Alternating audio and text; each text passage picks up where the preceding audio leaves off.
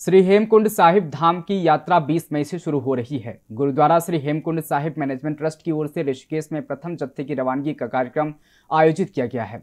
इस कार्यक्रम में राज्यपाल लेफ्टिनेंट कर्नल गुरमीत सिंह और मुख्यमंत्री पुष्कर सिंह धामी शामिल हुए।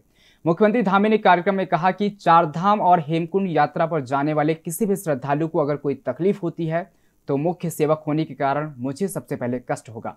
कार्यक्रम में शामिल होने पहुँचे राज्यपाल लेफ्टिनेंट कर्नल गुरमीत सिंह व मुख्यमंत्री पुष्कर सिंह धामी ने गुरुद्वारा में माथा टेका। मुख्यमंत्री धामी ने कहा कि पिछले वर्ष की चारधाम यात्रा हमारे लिए एक बड़ी चुनौती थी। इस वर्ष भी ये चुनौती बरकरार है। केदारनाथ में एक दिन में तीस हज़ार से अधिक श्रद्धालुओं ने दर्शन के लिए पंजीकरण कराया। धाम पर लगातार बर्फबारी और वर्षा हो रही है, लेकिन श्रद्धालुओं के उत्साह में कोई कमी नहीं आई है। हम सभी श्रद्धालुओं से अपील कर रहे हैं कि मौसम की जानकारी लेने के बाद ही अपनी यात्रा आरंभ करें। यात्रियों की सुविधा के लिए यात्रा मार्गों पर 50 हेल्थ एटीएम और टेलीमेडिसिन की व्यवस्था की गई है। ये यात्रा आज से प्रारंभ हो रही है। और ये यात्रा पूरी तरह से बिना किसी विघ्न बाधा के बिना किसी परेशानी के चले आने वाले जो हमारे श्रद्धालु हैं जाने वाले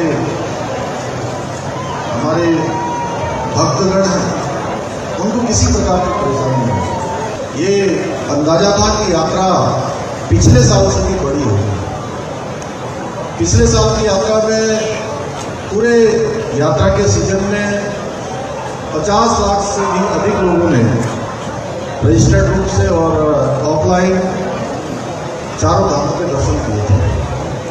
पिछले साल भी बहुत बड़ी चुनौती थी, इस साल भी हमारे सामने चुनौती है कि यात्रा सबके सहयोग से सकुशल संपन्न होगा और धीरे धीरे यात्रा अपने चरम पर आ रही है।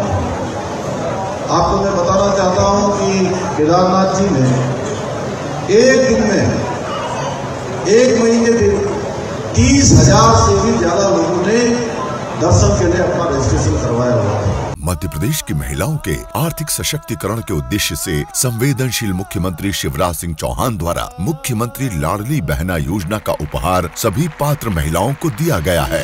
इसके तहत उन्हें प्रति माह एक हज़ार रूपए दिए जाएँगे। ये राशि सीधे उनके बैंक खातों में पहुंचाई जाएगी। योजना की प्रक्रिया बेहद सरल और निशुल्क है।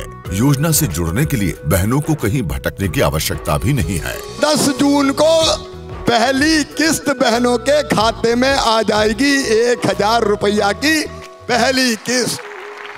योजना से जुड़ी अधिक जानकारी helpline number zero seven double five two seven double zero eight double zero एवं website C M Ladli Behna dot M P dot G O V dot in आरोप प्राप्त की जा सकती है। चलो लाडली बहना। वो खबरें जो आपके काम की है। वो खबरें जो आपके लिए ज़रूरी है। हर आम और खास से जुड़े मसले। हर मसले का सटीक विश्लेषण। हम करते हैं सत्य का अन्वेषण। दखल न्यूज़। आपके हक में। आप देख रहे हैं दखल न्यूज़।